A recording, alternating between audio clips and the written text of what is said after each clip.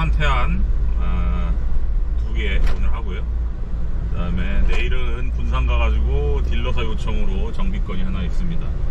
작업 내용은 어, 오늘 첫 번째 스케줄은 서산에서 어, 만리포 해수욕장 옆에 근처입니다. 그래서 엔진이 그 antifreeze 플러그가 삭아가지고 구멍이 났던 거를 엔진을 지난주에 들고 와서 어, 플러그를 새 걸로 다 바꿨어요. 총 8개 들어가는데 블럭에 그 새 거로 바꿔서 이제 엔진 갖다 달러 가는 중이고요.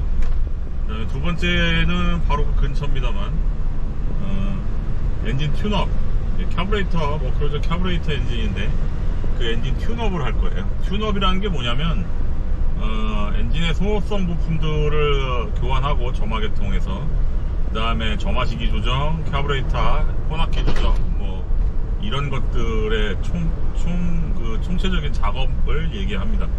그래서 엔진의 그 성능을 최고로 끌어올리는 어, 일종의 조정이라고 보시면 되죠. 내일 할 거는 군산에서 그 알파 stern drive 케이블 어, 교환 작업을 할 겁니다. 어, 지난번에 어, 보셨겠지만은 그 광주에서 했던 그 작업이랑 동일하고 그, 그 케이블만 교환하면 어, 이번 주 일정은 끝나겠습니다. 자 열심히 또 가보겠습니다. 이따가 현장에서 뵐게요.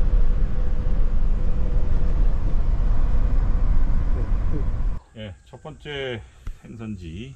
아, 이 엔진은 어, 무슨 문제가 있었냐면은 antifreeze antifreeze 플러그 쪽에서 물이 새서 어, 그래서 엔진을 내려봤는데 동파돼서 플러그가 빠진 게 아니고 어, 플러그가 부식이 되어갖고 삭아서 구멍이 났었습니다. 그래서 어, 그 플러그 자체가 그 아연합금 아니면 동합금이거든요. 그래서 부식이 잘 되지는 않는데 오래 쓰다 보면 얇아져서 구멍이 나는 경우가 있어요. 그래서 보시면은 이쪽에 와서 보시면 그 여기 있는 이런 플러그들 그 다음에 이 마운트 뒤에도 있습니다 반대쪽도 마찬가지고 그 다음에 엔진 앞에도 이 호스 뒤에 하나 있고 저쪽 반대쪽에도 있죠 총 좌측에 두개 우측에 두개 앞에 두개그 다음에 요 하우징 떼면 요 안에도 두 개가 있더라고요 총 8개 블록에는 있습니다 그래서 거의 다 한 6개 정도는 사가서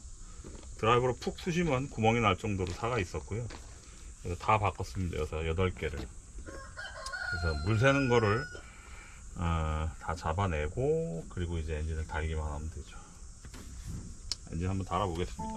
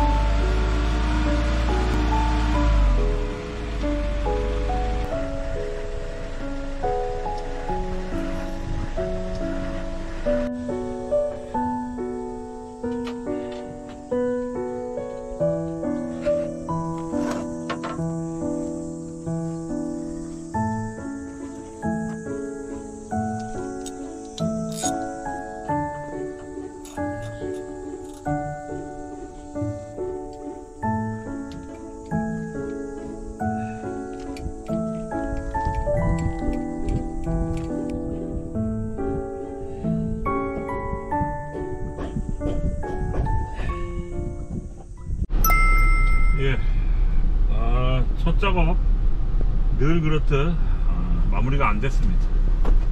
물 새는 건 다 잡았는데 아, 캐브레이터가 아, 노즐이 막혀서 캐브레이터를 뜯어서 다시 손을 봐야 될 것 같고요. 그 다음에 그 와중에 스타트 모터 그 감속기 기어가 뭉개졌어요. 돌리 엔진 돌리다가 네, 스타트 모터도 해야 되고 그 다음에 stern drive 들었다 놨다 하는 trim 실린더도 굳어서 석회가 껴서 잘 작동 안 하고 뭐 그 외에 해스, 해스 펌프도 물을 빨아 올리질 못하네요. 한 번에 되는 일이 없습니다 저는.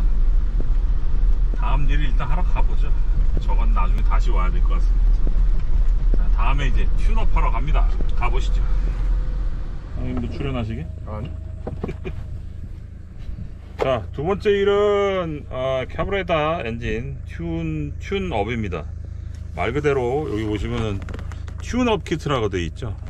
tune-up이라는 거는 뭘 얘기하는 거냐면 엔진의 원래 출력을 살리기 위해서 소모품 종류 다 바꾸고 그 다음에 그 엔진 타이밍에 맞춰 가지고 점화 시기 같은 거 조절해 주고 연료량 조절해 주고 뭐 그런 작업을 전체를 통틀어 가지고 tune-up이라고 그래요.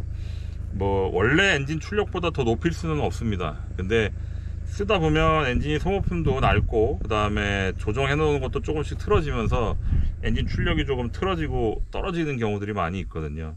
그런 경우에 tune-up 작업을 통해서 원래 출력으로 되살리는 어, 그런 어, 작업들을 합니다. 연료 계통에서는 카브레이터이기 때문에 가장 기본적으로 카브레이터 오버홀을 합니다. 요거는 카브레이터 오버홀을 해갖고 온 거고 준비를 해 갖고 왔고요. 나머지 이제 가스켓 같은 거 해야 되고. 이 튜너 키트에는 뭐가 들어있냐면 이제 정화계통 부품들이 들어있어요. 정화계통 부품으로 배전기죠. 배전기 캡하고 그 다음에 안에 들어가는 로터까지 같이 들어있습니다. 그 다음에 정화 플러그 케이블 보시면 케이블 새 거 있고요. 그 다음에 점화 플러그까지. 그래서 가솔린 엔진 같은 경우에 어, 점화계통, 연료계통을 이렇게 손 봐주면 어, tune-up 작업이 완료가 되고 그 다음에 시동 걸어놓고 점화 시기를 한번 측정해 가지고 점화 시기가 맞는지 보면 됩니다. 이건 캐브레이터 엔진이기 때문에 이렇게고 만약에 MPI 엔진이나 분사식이다 그러면은 이 인젝터 청소를 한다든가 뭐 그런 작업들이 같이 따라가겠죠. 한번 올라가서 정화 플러그부터 어, 갈 저, 끼고 작업을 한번 해보겠습니다.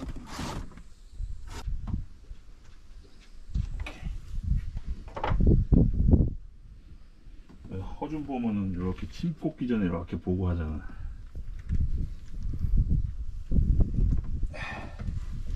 정관 정강렬 씨가 그건 드라마니까 꼭 인상 쓰잖아 어, 우리도 봐야 돼 간극이 맞는지.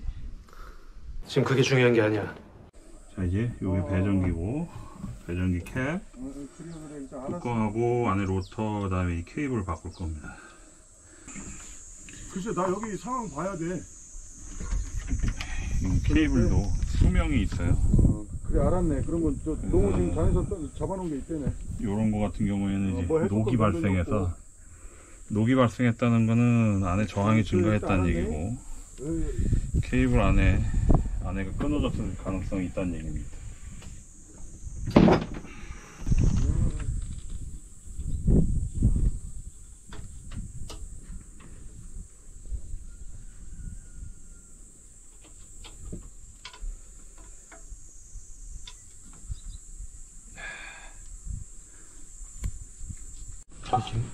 그 다음에 캡은 열어보면 요거 이제 깨끗하고 요거는 여기 보시면은 찌꺼기가 꼈죠 끝에 요런 찌꺼기가 끼면 일단은 긁어내서 청소해 갖고 써도 되는데 기왕지사 새 걸로 바꾸려고 갖고 왔습니다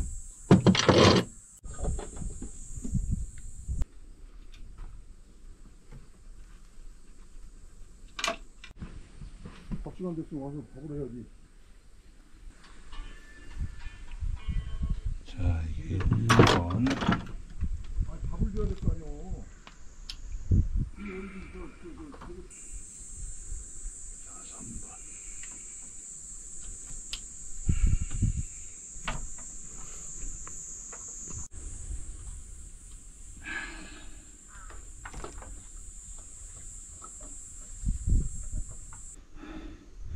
여기가 지금 1번이거든요. 우회전 방향으로, 시계 방향으로 1843, 65, 72번 이런 식으로 폭발을 합니다. 어, 여기 보면은 작은 숫자도 써 있어요. Reverse라고. Reverse는 어떨 때 맞추는 거냐면 이 엔진이 역회전 엔진도 있어요. 반대 지금 모든 엔진은 대부분 오- 시계 방향으로 돕니다만 역회전 엔진은 반대로 도는 엔진도 있습니다. 국내에서 전 딱 한 대 봤는데 그런 경우에 요 리버스 작은 숫자로 맞추는 겁니다. 18, 43, 65, 72번으로.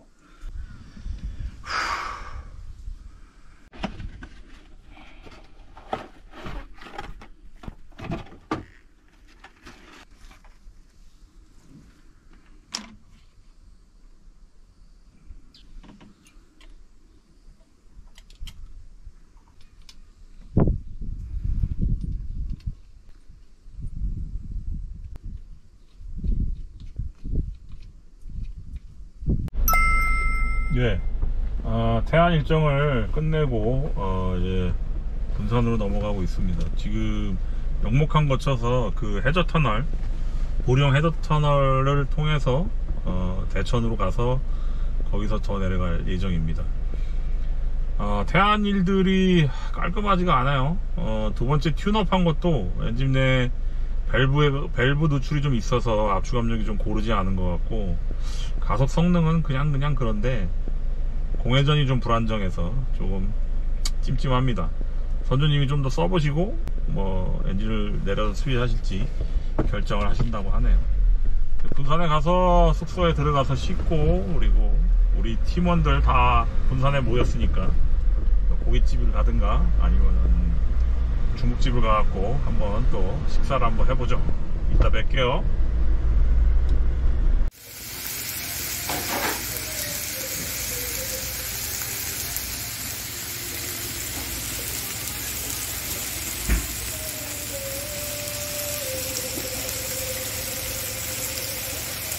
네, 배우남 오늘 저녁은 삼겹살입니다.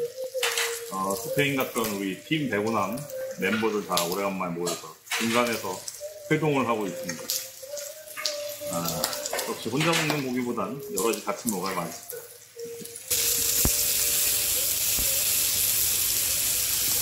계란 찜이에요? 그냥 타고 내주는 거예요. 계란 타 하나 찜이나 타이나. 이게 그게 그거지 뭐. 네, 하나 주세요. 주시는 대로 주시면 돼요. 2일차 군산 어, 이제 나갑니다. 어, 숙소에서 나오자마자 온몸에 땀이 흐르는 게 느껴질 정도네요. 덥긴 덥습니다. 그래도 후딱 하고 올라가 보죠. 열려라 참깨. 예, 군산의 뉴 마린테크라고 어, 저희 거래하는 딜러사입니다. 베이라이너 어, 이사원인데요. 어, 오늘 설명드릴 건 아마 지난번 영상에 광주에서 그 알파 드라이브 시프트 케이블 바꾸는 영상 어, 본 적이 있으실 겁니다. 그 복습인데 어, 시프트 케이블 알파 드라이브 같은 경우에는 그리고 대부분의 선내외기 같은 경우에는 어, 기어를 뺄 때 잘 빠지게 만들기 위해서 어, 파워 리미트 스위치라는 게 작동하게 되어 있습니다. 그 리미트 스위치의 원리는 뭐냐면 어, 이런 기계적으로 어, 클러치가 어떻게 물리냐면 기아 이빨하고 이빨이 있으면 이빨 사이에 이렇게 물리게 돼 있어요.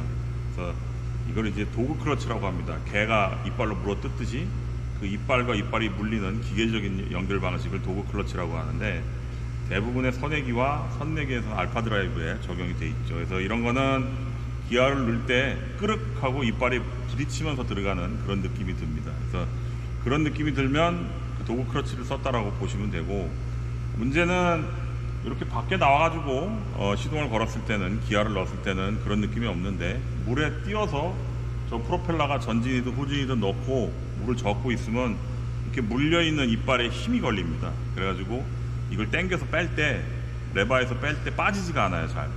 그래서 이걸 만약에 억지로 뺀다 그러면은 팍 빠지면서 반대쪽 전진을 들어가든가 전진이었으면 후진으로 바로 들어가든가 그런 부작용이 있죠. 그래서 그걸 막기 위해서 요거를 뺄 때 출력을 엔진 출력을 살짝 죽여주는 역할을 하는 게 파워 리미트 스위치입니다. 엔진을 살짝 꺼지, 꺼지기 직전까지 그러니까 꺼지기 직전까지 힘을 줄여주면 여기 힘이 풀리면서 쏙 빠지는 그런 구조로 되어 있죠. 근데 이 알파 드라이브 같은 경우에는 어, 엔진에서 드라이브 쪽으로 내려오는 케이블이 오래돼가지고 뻑뻑해서 무거우면 그 리미트 스위치가 기아를 뺄 때만 작동해야 되는데 기아를 넣을 때도 작동해 버려요. 그래서 기아를 넣으면 푹 하고 시동이 꺼져 버리는 그런 증상이 생기기도 합니다. 이 배는 어떤 상황이었냐면은 아마 다른 업체에서 했던 것 같은데 그 리미트 스위치를 배를 팔기 전에 시, 시운전을 해봤을 때 육상에서 기아를 넣으면 시동이 꺼져 버리니까 그 리미트 스위치를 아예 빼버렸어요. 그래서 제가 와서 1차로 와서 리미트 스위치를 새로 달았더니 기아를 넣을 때마다 시동이 푹푹 꺼져서 오늘은 밑으로 내려가는 케이블을 가볍게 만들기 위해서 신품으로 바꾸고 어, 뭐 그렇게 마무리를 하려고 이렇게 와 있습니다. 드라이브를 띄고 케이블 가는 작업 간간히 영상으로 찍어서 보여드릴게요. 와, 이렇게까지 뻑뻑하니 없는데, 씨. 이렇게 안 들어가나? 야, 씨, 손가락. 아.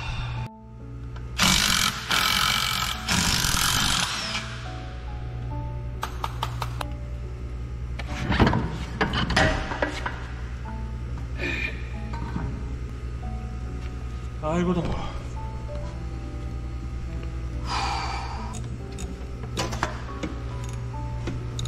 우와 백반 났다. 아유 이거만 씨, 천국입니다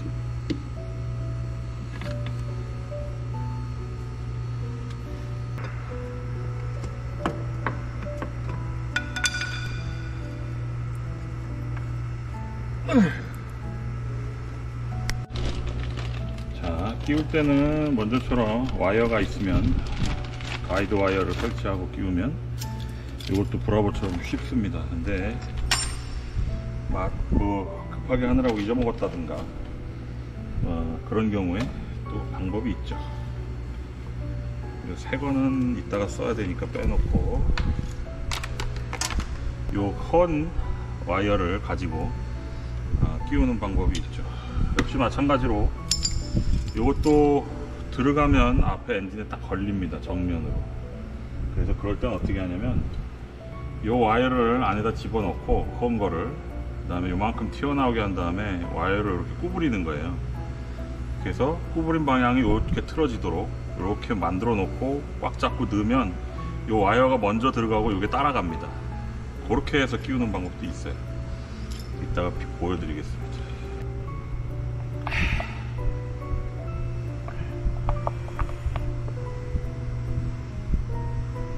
이야 안 들어간다. 와 이렇게까지 없는데 씨. 겨울에도 꼈었는데 한여름에 이렇게 안 들어가나? 됐다. 아이고 힘들어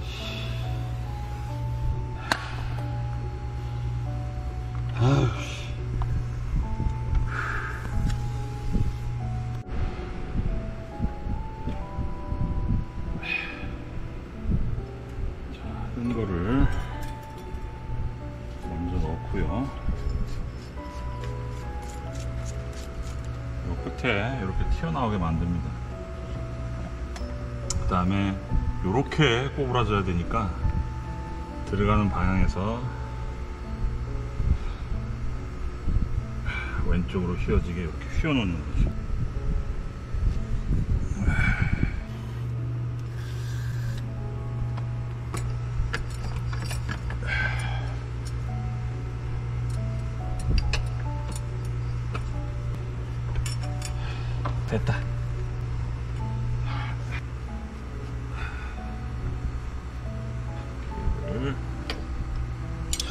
드라이브 달면 됩니다. 가스켓을 고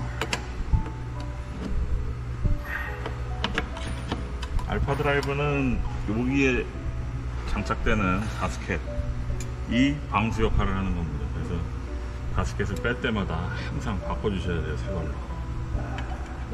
실리콘 바르는 100% 셉니다,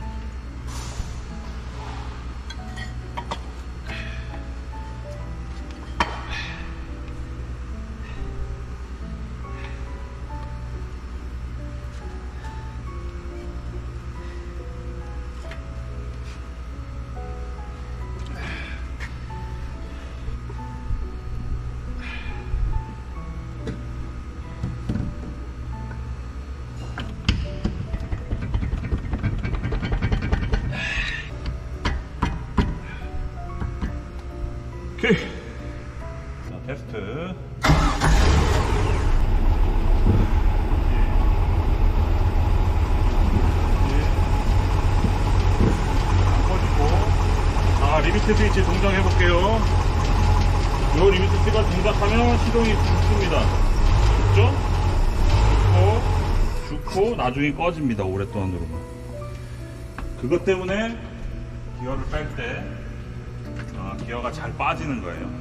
저 리미트 스위치를 알파 드라이브는 절대로 생략하시면 안 됩니다. 생략하면 나중에 물에 뛰었을 때 기어가 안 빠져요.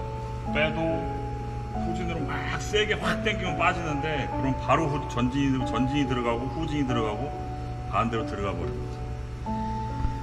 아, 이렇게 중요한 리미트 스위치 설명해드렸습니다. 근데도 좀 헷갈릴 거예요. 자, 어, 이번 주말 작업 여기까지입니다. 아, 케이블은 간단한데 바꾸기가 너무너무 힘든 알파 드라이브 케이블이었습니다. 아, 덥네요. 다시 올라가서 오늘은 좀 일찍 쉬어야죠. 자, 또 다른 출장지에서 뵙겠습니다. 백원남이었습니다. 감사합니다.